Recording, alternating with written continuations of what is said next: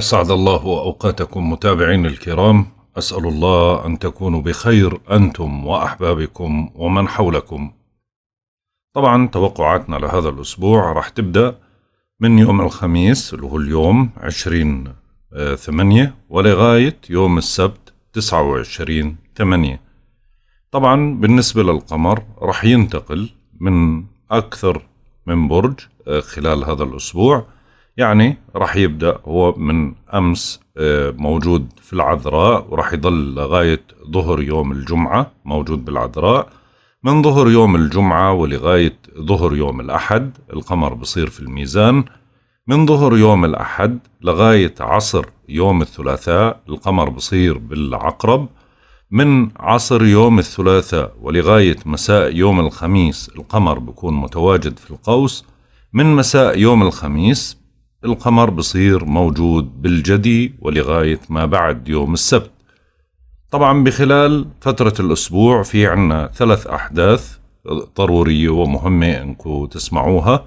أول وحدة أنه عنا عطارد رح ينتقل لبرج العذراء صباح يوم عشرين ثمانية وهذا من الأشياء اللي رح تحسن من مزاج وأوضاع بعض الأبراج الترابية والأبراج المائية بشكل عام. أما بالنسبة للشمس رح تنتقل للعذراء يوم 22 ثمانية مساء. وهذا بدل على أنه بدأ, بدأ العام من عند برج العذراء ابتداء من هذا التاريخ. ولكن إنه الأمور بتصير بشكل متصاعد بالفائدة للأبراج الترابية وللأبراج المائية بوجه عام. عشان هيك بنستغل الفرصة وبنقول لمواليد برج العذراء كل عام وأنتم بألف خير. أما بالنسبة للزاوية السلبية اللي راح تتشكل خلال هذا الأسبوع هي زاوية تربيع راح تكون بين المريخ وزحل راح تكون يوم 24 8 مساء. وفي هاي الزاوية طبعا هاي من الزوايا اللي أنا ذكرتها في بداية العام هي في توقعات العام موجودة. بتتزايد المواجهات والمشاحنات وأعمال العنف اللي بتخلف مشاكل عديدة وبتشهد فضائح بتمس بالتقاليد والأعراف الاجتماعية. يعني فيها عنف فيها مشاكل فيها فضايح. الله يستر إيش اللي راح يصير بالفترة القادمة أو بخلال هذا الأسبوع.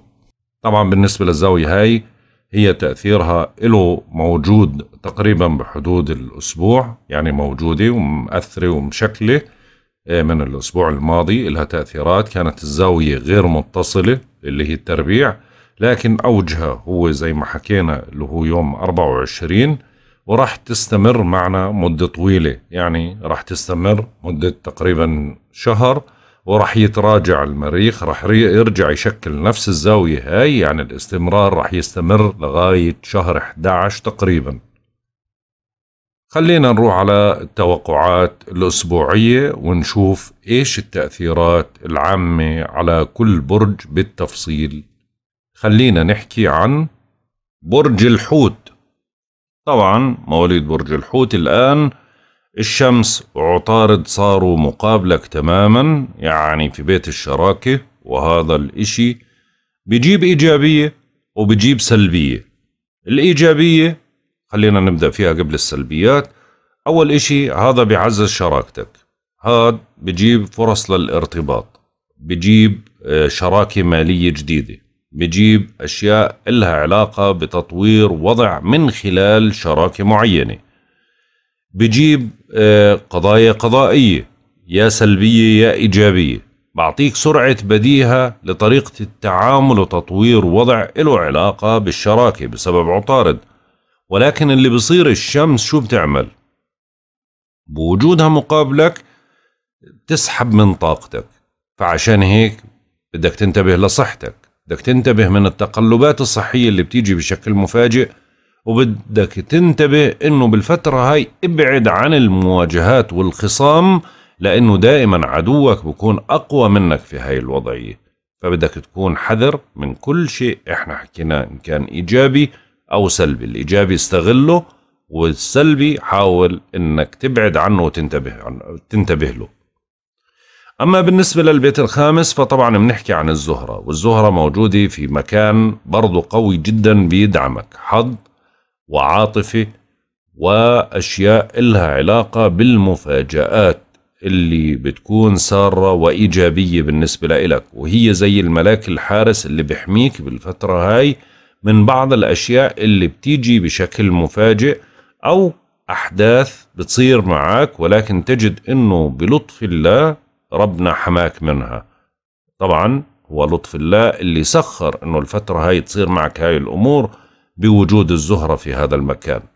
فعشان هيك بدك تنتبه من بعض الأمور اللي إلها علاقة بالعاطفة إلها علاقة بتطوير وضع عاطفي معين إلها علاقة بمغامرات وحظوظ في ممكن تحقق مكاسب منها وإشي ممكن يجيب لك شهرة.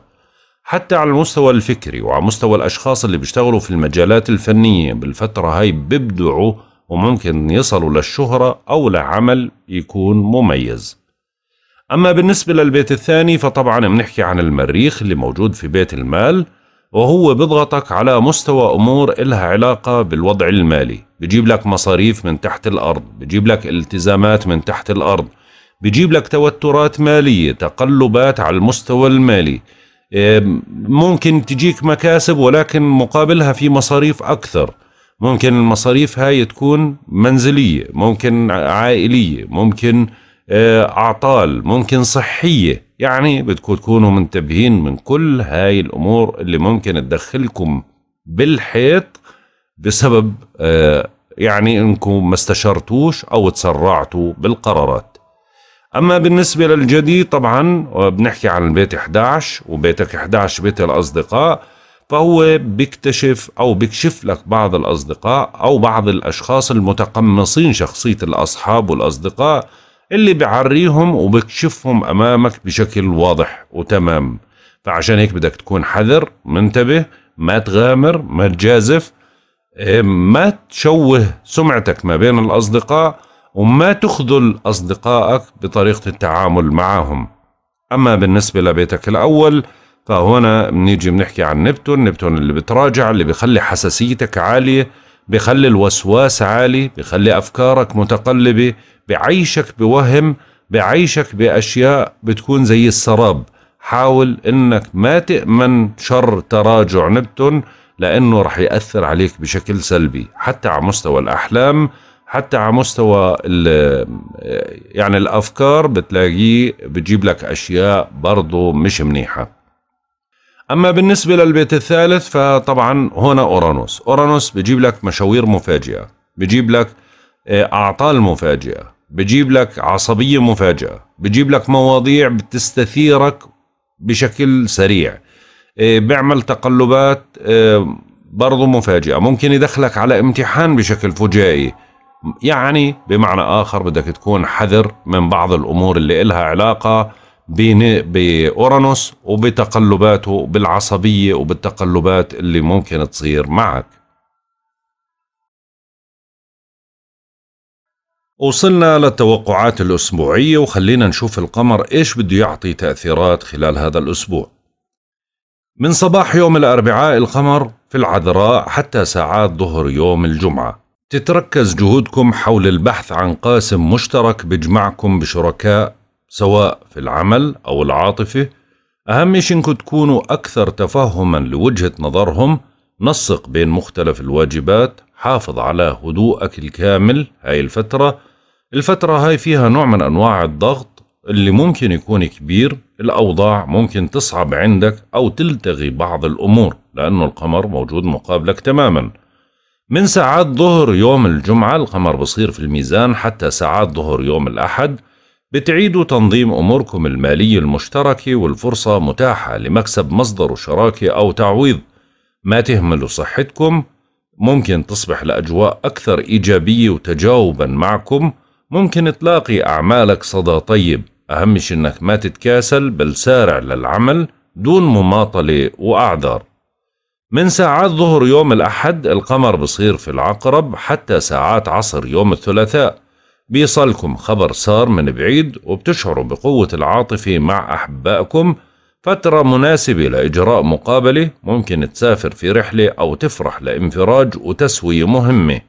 بتهتم بهواية جديدة بتكون حيوي ومتحمس لمتابعة المساعي وكمان بيكون عندك قدرة على التواصل مع المحيط. من ساعات عصر يوم الثلاثاء القمر بصير موجود بالقوس وحتى ساعات مساء يوم الخميس فترة مناسبة للي بيبحث عن عمل واللي بيعمل بينجح بالدفع بمصالحه وبيحافظ على إنجازاته القائمة. أهم شيء إنك هدئ من روعك وما تنفعل اتجنب مخالفة القوانين واحرص على استقرارك. اتجنب الخلافات والمجازفات الشائكة واحرص على لجمها إذا شعرت ببدايتها. من ساعات مساء يوم الخميس القمر بصير بالجدي بتنشطوا اجتماعيا وبتلتقوا الأصدقاء ومنكم ممكن يشارك في مناسبة سعيدة.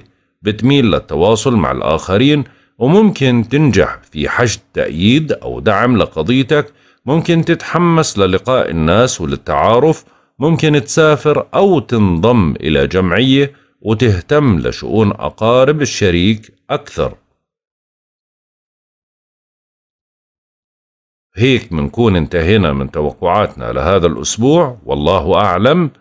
يا رضا الله ورضا الوالدين سبحانك اللهم وبحمدك أشهد أن لا إله إلا أنت. أستغفرك وأتوب إليك. أترككم في رعاية الله وحفظه. إلى اللقاء.